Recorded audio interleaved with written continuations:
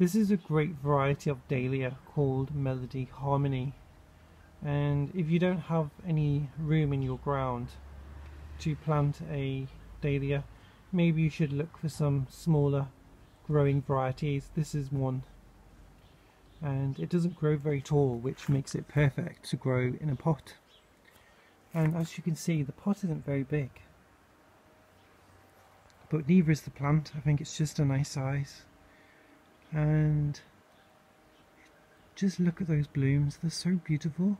I'm so glad I bought it. I think the tuber was maybe four pounds. Definitely worth it. But also if you have room in the ground maybe you could plant this in the forefront of a border. And that would look really really beautiful especially um, planted en masse. Can you imagine a whole runway of this that would look so beautiful wouldn't it let me get closer and show you so these actual blooms they've been on this plant for such a long time and I keep thinking oh they're gonna start to deteriorate but they just stay looking this beautiful. Absolutely gorgeous. Love it. I would definitely recommend this dahlia.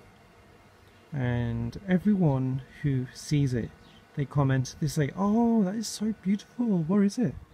You know, people who don't have much knowledge on plants and gardening, they, they're like, oh my god, I need to get one of these for my garden. Everyone loves it, and so do I. It's a real beauty. Dahlia Melody Harmony.